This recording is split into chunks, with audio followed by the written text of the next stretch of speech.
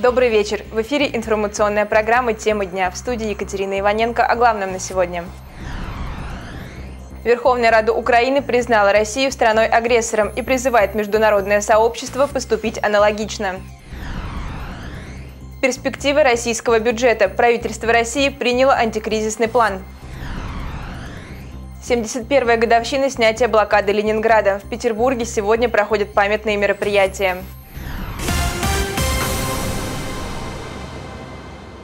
Верховная Рада Украины признала ДНР и ЛНР террористическими организациями, а Россию – страной-агрессором и призывает международное сообщество поступить аналогично.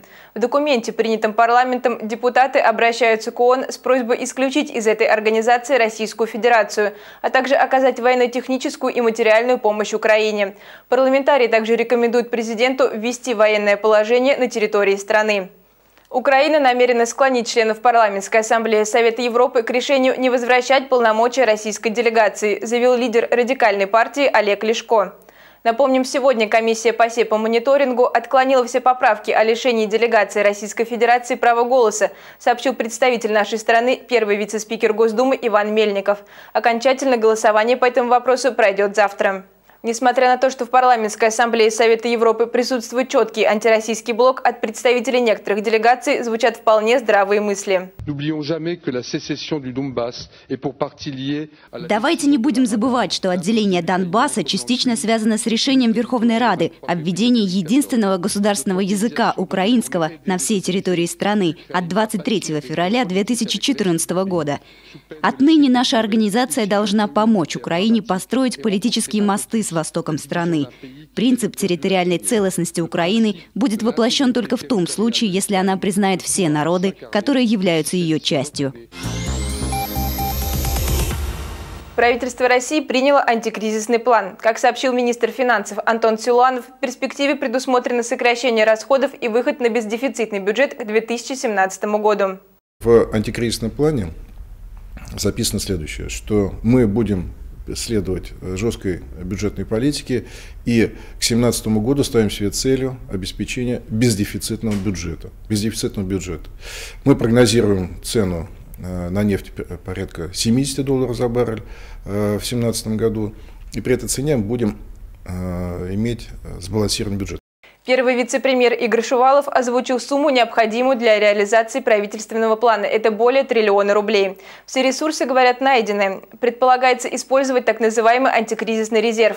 Правда, ни один человек из состава Кабинета министров не пояснил, каков в настоящее время резерв в России и откуда взялись эти деньги. Отметим, к примеру, ранее сообщалось, что антикризисный план предусматривает отказ от увеличения пенсий с учетом инфляции. Антикризисный план не внушает доверия и мировым экспертам. Международное рейтинговое агентство Standard Poor's впервые за 10 лет снизило суверенный рейтинг России до неинвестиционного, так называемого мусорного уровня. По мнению аналитиков, российская финансовая система слабеет, и отток капитала из страны в этом году увеличится. Экономика России твердо стоит на пути, который ведет к рецессии после резкого падения цен на нефть и полномасштабного валютного кризиса, считают эксперты агентства. Сегодня в Польше на территории бывшего концлагеря Освенцим проходят памятные мероприятия. 70 лет назад силами Красной Армии были освобождены узники лагеря смерти. В Освенцим сегодня приехали около 300 бывших узников лагеря из разных стран, в том числе 10 россиян. Они возложили цветы и зажгли поминальные свечи у стены смерти.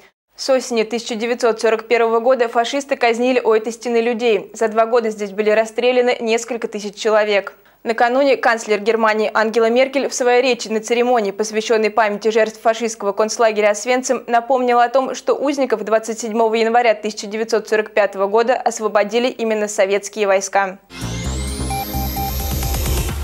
Памятные мероприятия сегодня проходят и в Санкт-Петербурге. Там отмечают 71-ю годовщину снятия блокады Ленинграда.